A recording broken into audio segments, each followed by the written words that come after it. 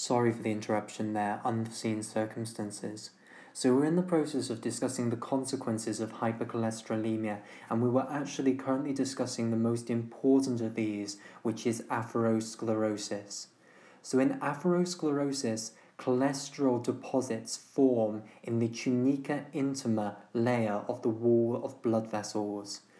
This impinges on the lumen of the blood vessel and reduces blood flow to the end tissue. When this occurs in the blood vessels that supply the heart, it leads to ischemic heart disease. When it occurs in the blood vessels that supply the brain, it leads to cerebrovascular disease. The blood vessels in the legs, it leads to calf claudication, also called peripheral vascular disease. The blood vessels in the kidneys, it leads to chronic kidney disease. The message here is that atherosclerosis is not good. It gets even worse, I'm afraid. The atherosclerotic plaques, which is the name for these cholesterol deposits, they can actually break open, they can rupture open, and when they do, blood clots will form in the lumen of the blood vessel on top of the surface of the ruptured plaque. That is called thrombosis, and that thrombus, the name, the official name for the blood clot, can completely occlude the lumen of that blood vessel, completely cutting off blood supply to the end tissue. Tissues that do not get a blood supply will die, and that is called infarction. Infarction means death due to lack of blood supply. When that occurs in the heart, that is a myocardial infarction, a heart attack. When it occurs in the brain, it is cerebral infarction, a stroke. Not good, not good at all. Massive risk factor for atherosclerosis is having too high LDL cholesterol concentration because it is LDL that is the lipoprotein that delivers cholesterol into atherosclerotic plaques. So, if you are hypercholesterolemic, which we have already discussed, means in actual fact that your LDL cholesterol is too high um, you will develop accelerated atherosclerosis, and it is now estimated that 50% of people in the Western world will die because of consequences of atherosclerosis. So, that is why doctors get worried about hypercholesterolemia. That is why we put lots of people on drugs to bring down their LDL cholesterol concentration, to bring their total cholesterol into a normal range. So, that is atherosclerosis, the doom and gloom bit over. We are now going to discuss the other consequences, which we have some nice pictures of here. These are not dangerous, they are interesting, and they are things that you can look for to get an idea of when you are doing an examination of someone whether they may well be hypercholesterolemic and therefore at risk of developing atherosclerosis. So we will begin with the eyes up here. This is the one that you are most likely to see. These two down here are much rarer and require usually to have very, very elevated uh, cholesterol level and therefore are usually only seen in familial hypercholesterolemia as opposed to the much more common idiopathic hypercholesterolemia. But we'll come back to that in a moment. So the eyes, one of these is normal, one of them is not. It is the one on the right that is normal. This one is not normal. And the thing that is not normal is this arc around the outside of the cornea here. This is known as a corneal arcus. So I'll write this up here. It's got other names as well. This is a corneal arcus. You can also call it an arcus senilis. So I'll write that down as well. Other name for it is arcus senilis. Most people just call it corneal arcus. Arcus senilis is a little bit rude because senilis comes from senile, which is an old word that meant elderly but is now used more to mean demented. Um, so I wouldn't use arcus senilis, but you may see it written like that in pathology textbooks. Corneal arcus is a nicer uh, way of putting it. Also, when you put it in the reverse order like that, arcus senilis, it sounds quite sort of um, conceited. Um, so corneal arcus is a nicer name. And what has happened here, this ring around the outside of the cornea, is where cholesterol has deposited in the peripheral part of the cornea. So it's not actually in the iris, the covered part of the eye, it's in the cornea that covers the iris. In the peripheral part of the cornea, you've had cholesterol deposited, which is why you have this sort of uh, milky white appearance here. And I've tried to get an eye of similar colour here to show you what it looks like without a corneal arcus. And the reason, by the way, that it was called arcus senilis is because the most common people that you will see this in is elderly people with idiopathic hypercholesterolemia. It's not a particularly rare sign. You will see, if you look at enough people's eyes, you will see elderly people with corneal arcuses. Um, young people with corneal arcuses, you get much more worried because that usually means familial hypercholesterolemia. So young people should not have this. Older people often do have it, and it means that they've most likely got idiopathic mild hypercholesterolemia. But young people, red flag, not good. Um, so that is one sign of hypercholesterolemia, a cholesterol deposit in the peripheral portion of the cornea. Now let's come down to these two down here. As I say, these are much, much rarer and usually only occur in people with really severe hypercholesterolemia, and idiopathic hypercholesterolemia does not usually get severe enough to cause these. Usually, these are seen in people with familial hypercholesterolemia, so they have big names. Again, they are cholesterol deposits. In the case of the ones around the eyes here, these are underneath the skin in the soft tissue, and these are known as xanthelasma.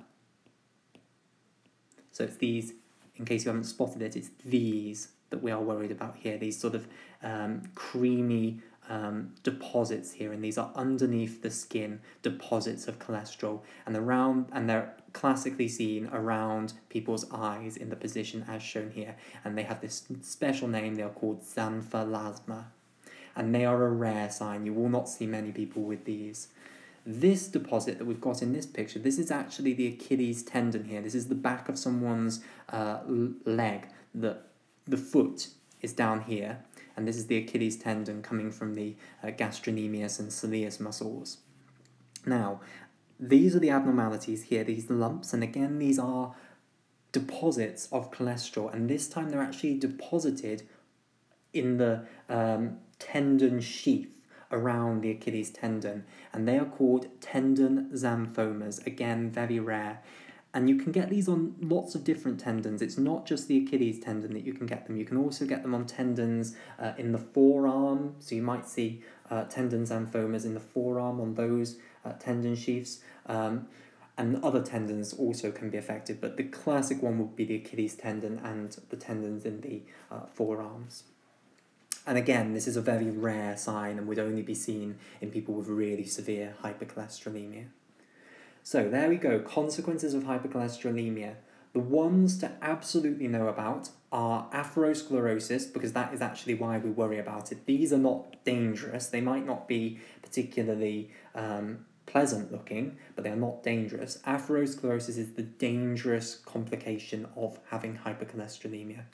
One of the signs that you can look for for hypercholesterolemia when you're examining someone, if you are indeed a healthcare student watching this, is you can look at their eyes. Do they have one of these corneal arcuses? And you will see elderly people. I promise you, you will see elderly people with uh, these. It's not that rare. If someone has these, xanthelasma or tendon xanthomas, you should get much more worried because they are much, much rarer signs and they usually mean that someone has really, really severe hypercholesterolemia, maybe familial hypercholesterolemia. So let's now talk then about these two different forms of hypercholesterolemia, idiopathic and familial. So we'll begin with idiopathic. So Idiopathic is another fancy medical word and it means that we do not know why it happens. So, lots of conditions in medicine are idiopathic. Many people have essential hypertension, high blood pressure, also called primary hypertension, that we do not know why they have it. You can also call that idiopathic hypertension. So, when someone has a condition and we do not really understand why they've actually got that condition, we call that condition idiopathic. So, idiopathic hypercholesterolemia is a really fancy way of saying you have high blood cholesterol level and we do not actually know why. What we do know is that there are certain risk factors for developing idiopathic hypercholesterolemia, and the two biggies are age, so getting older, and I said that earlier that lots of old people get idiopathic hypercholesterolemia, and the other one is weight. If you are larger, um, higher BMI, you are more likely to have idiopathic hypercholesterolemia, unfortunately. And of course, you can't do anything about your age, um, but you can do something about your weight. So if you do have too high blood cholesterol, one of the things that you can try doing to bring down your uh, blood cholesterol is losing some weight. Um, in addition, trying to reduce dietary cholesterol is a good idea if you do have uh, hypercholesterolemia. Um, but it's it's this is actually an important discussion. Um, with regards to idiopathic hypercholesterolemia, reducing dietary cholesterol is of course advisable, but often we find that it has very limited efficacy, which you may find surprising, um, considering that it's one of the main inputs of cholesterol. However, we do feel that in this condition, idiopathic hypercholesterolemia, that it may more be a problem with the liver's de novo synthesis, the liver synthesizing too much de novo cholesterol rather than you consuming too much cholesterol. So let me just say that again because I don't think I made it particularly clear. In people with idiopathic hypercholesterolemia, the two big risk factors for it are age and being overweight. Obviously, one of the things that you can try and do to bring down your cholesterol if you do have idiopathic hypercholesterolemia is to reduce your cholesterol consumption by reducing uh, animal products. However, that's not particularly effective usually at actually bringing the cholesterol down because this disease, which we don't properly understand, and by the way, the biomedical scientists are still working very hard to try and figure out why this happens it, but it seems to be more an issue with the liver synthesizing too much de novo cholesterol and not responding properly and adjusting its de novo synthesis to adapt for how much gastrointestinal absorption of cholesterol is occurring. So even when people with idiopathic hypercholesterolemia cut down their cholesterol intake, we often find that it doesn't actually lower their cholesterol that much. Of course, do it, it's worth a shot, um, but don't expect it to have brilliant results far better is if they try cutting down their cholesterol and also cutting down their overall caloric intake and lose some weight, then we might see an improvement. Then you might find that their cholesterol actually comes down. But it's the weight loss that seems to be related to the blood cholesterol coming down rather than it being um, the um, reduced cholesterol intake because they've gone on a diet. So I hope that's clear. Obviously, it's advisable if you're hypercholesterolemic to cut down your dietary cholesterol, but unless you actually lose weight, it's unlikely to have a massively significant effect. Right, so idiopathic hypercholesterolemia it happens in older people. You're more likely to get it if you are uh, larger BMI. And it is usually mild. So, usually in people with idiopathic hypercholesterolemia, the range of total cholesterol level would be between 5 and 7.5 millimolar. If it goes above 7.5 millimolar, you've got to think maybe they've got familial hypercholesterolemia rather than idiopathic hypercholesterolemia. And as I said earlier, the sort of classic number for someone with idiopathic hypercholesterolemia would be 6. And people with this, we do put them on statins to bring down their cholesterol to try and prevent atherosclerosis, and you may well see that they have a corneal arcus due to their idiopathic hypercholesterolemia. It would be very unlikely for them to have these signs. Usually their cholesterol is not high enough for them to get xanthelasma or tendon xanthomas. Okay, so very, very common condition. If you are a healthcare student, if you look in enough old people's eyes, you will see people with corneal arcuses because they have idiopathic hypercholesterolemia. Alright, so that's the simple one because there's not much to say about it because it's not particularly well understood.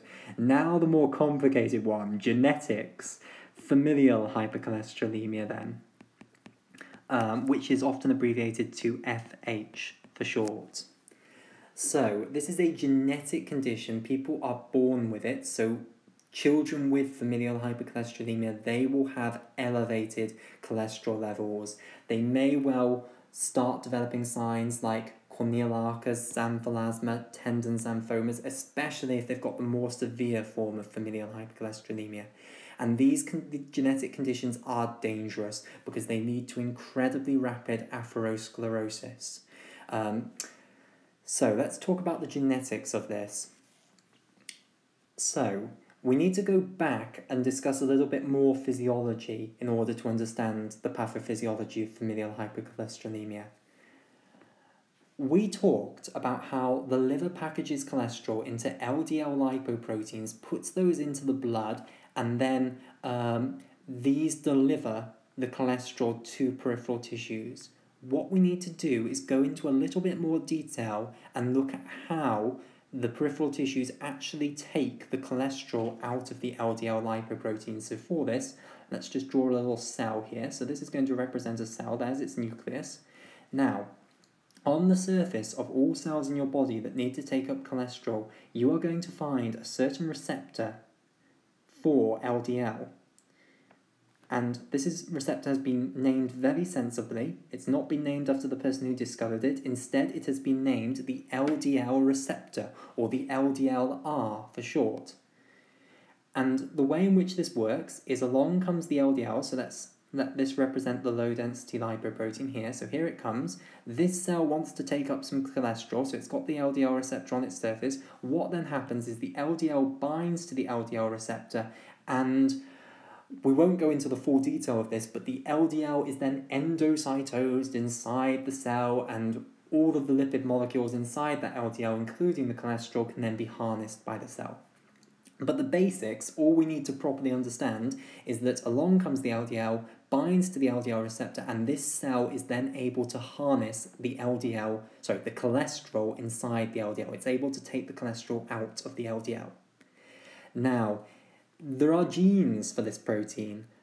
The gene for this protein is present on an autosome, so one of the non sex chromosomes, so one of the chromosomes from 1 to 22 that you have two pairs of, remember, a maternal and a paternal copy of.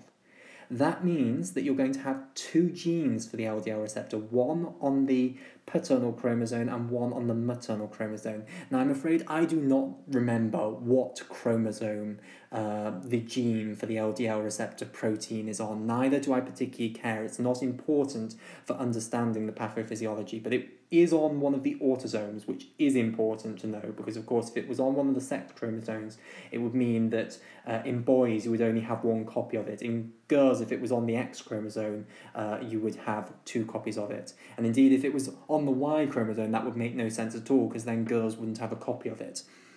But it's not on the sex chromosomes. Forget that discussion. It is on an autosome. So let me just draw a picture over here. Um, so these two lines are going to represent our two homologous chromosomes that have the LDL receptor. So, if you like, this is a massive, great piece of DNA, a massive, great chain of DNA, and this is the homologous chromosome. So, this can be the maternal one, this can be the paternal one. And let's now mark on the LDL receptor. So, here is the gene for the LDL receptor. Uh, so, you have two copies of it. Now, you can have mutations in this gene that mean that when the protein is synthesized, you end up with a dysfunctional receptor. And this is what is going to lead to familial hypercholesterolemia. Think about this. If we then have a dysfunctional receptor, the LDL is not going to be able to be properly uptaken by the peripheral tissues. It's then going to just end up building up in the blood and go higher and higher and higher so that you will end up hypercholesterolemic. So I'll say this again familial hypercholesterolemia is a genetic disease and it is caused by you having mutations in your LDL receptor gene that make the protein dysfunctional. Now, you can have two different severities of this disease because you can either have a mutation in just one of the genes and then the other one on the homologous chromosome is absolutely fine, or you can have or you can be very unlucky and have mutations in both genes um, and therefore both of them are defunct both of them are producing ldl receptors that are not going to work properly so these two different severities of the disease are called heterozygous and homozygous so heterozygous is where the two genes are different so one of them has the mutation and is dysfunctional and one of them is doesn't have the mutation and is working. Hetero means different, of course. And homozygous, homo means same, and homozygous is where both genes are going to have the mutation and be dysfunctional, be producing LDL receptor that does not work. So homozygous is the more severe form of familial hypercholesterolemia, heterozygous is less severe. So, in heterozygous, generally they end up with a hypercholesterolemia that is within the range of 5 to 13 millimolar. And, ooh, whoops, didn't manage to fit that on the page, but never mind. Uh, you can see the important bit, which is the numbers. So usually the range of cholesterol for someone with heterozygous familial hypercholesterolemia is usually between 5 to 13, and remember that's the less severe form. Whereas in homozygous hypercholesterolemia, this is really awful, and they end up with a hypercholesterolemia that's usually greater than 13 millimolar. Now, what is the prognosis then for children born with these uh, form with this genetic disease? Heterozygous isn't so bad. They will develop accelerated atherosclerosis if their cholesterol level is not controlled by medical therapy. And even if we do give them medical therapy, usually we don't manage to get their cholesterol completely back into the normal range. So they are going to develop accelerated atherosclerosis, and individuals with heterozygous familial hypercholesterolemia, usually at present, they are going to start developing massive complications of this, i.e., heart attacks, strokes, in their 40s, 50s. So they're going to have premature, um, severe consequences of cardiovascular disease. Homozygous, I'm afraid it's worse. They develop accelerated atherosclerosis even more so, and they generally start having heart attacks and strokes even in their late teenage years. Uh, they can start having those. Uh, so, really, really unpleasant genetic condition. And because their cholesterol levels can go so high in familial hypercholesterolemia, they can develop signs like xanthelasma and tendon xanthomas. Now, how common then are these conditions? Well, heterozygous is actually more common than you might think. Homozygous is thankfully extremely uncommon. So, heterozygous is one in every 500 people, it is estimated, has heterozygous familial hypercholesterolemia. And these are the people who are having heart attacks in their 40s and 50s generally. So, if you do you see someone in hospital who's having a heart attack and they're, let's say, 49, you might think maybe we should measure their cholesterol level, or maybe I should do an examination, look for corneal arcus, look for xanthelasma, tendon xanthomas, and maybe we should measure their cholesterol to see whether they might have heterozygous familial hypercholesterolemia because that might be the reason that they have developed uh, this disease so young because usually people don't get heart attacks until their 60s 70s in hom- homozygous familial hypercholesterolemia is extremely rare. It's one in a million people has this. So you're very unlikely to see someone with that. But it is really, really horrendous when it happens. And as I say, these are teenagers, late teenagers, 20 year olds who are going to start having heart attacks and strokes. So not nice at all. So let's just summarize what we've uh, talked about here then. So we talked about the definition of hypercholesterolemia. We said that Normal total cholesterol level is between 3 and 5 millimolar. Hypercholesterolemia is when it's above that. And remember, the type of cholesterol that actually goes up is the LDL cholesterol, even though we don't actually call it hyper LDL cholesterolemia. But if we were to give it a more correct name, that would be what it actually is, because it's LDL going up that is responsible for uh, the rise in total cholesterol. This has bad consequences, I'm afraid. Atherosclerosis is the really dangerous one, leading to heart attacks and strokes. Some more uh, harmless consequences, interesting signs that you can look for are the corneal arcus, which is usually present in people with idiopathic hypercholesterolemia, uh, and then these much more severe, rarer signs, xanthelasma and tendon xanthomas, that you're unlikely to see in people just with idiopathic hypercholesterolemia, but which, if someone has um, familial hypercholesterolemia, of which the more common one is heterozygous milder hypercholesterolemia, um, you may well see those signs. We then discussed the two different types. Idiopathic occurs in older people. You're at higher risk of getting it if you're higher BMI. And one of the key things that you can try and do to lower your cholesterol by yourself is lose weight. Usually it's a mild hypercholesterolemia, so it's between 5 and 7.5 millimolar. If it goes above 7.5 millimolar, uh, you should really consider maybe this is familial hypercholesterolemia. Familial hypercholesterolemia you will have it from birth, so this will affect children. Um, and the cause of it is mutations in the LDL receptor gene, which is an autosomal gene, so you have two copies of it. You therefore have two severities of the disease heterozygous, where just one gene is taken out, and homozygous, where both genes are dysfunctional. Heterozygous isn't as rare as you might think. One in 500 people is estimated to have heterozygous familial hypercholesterolemia. Homozygous is phenomenally rare, one in a million. Range for heterozygous is between 5 and 13 millimolar. In homozygous, it gets so severe that it's above uh, 13 millimolar. Prognosis heterozygous uh, familial hypercholesterolemia, they're going to have premature heart attacks and strokes, 40s, 50s. Homozygous, they have incredibly premature heart attacks and strokes, late teens, early 20s. If you see a young person with a corneal arcus or indeed with xanthelasma tendon xanthomas, you should think maybe they have familial hypercholesterolemia, they need to have their cholesterol measured. And the treatment for all of this is going to be statins to try and bring down cholesterol. They're usually very effective in idiopathic hypercholesterolemia because it's only mild. They can be very good in heterozygous. Homozygous, it's much more difficult to bring it under control, but we can have a go. And we'll talk about statins in the next part.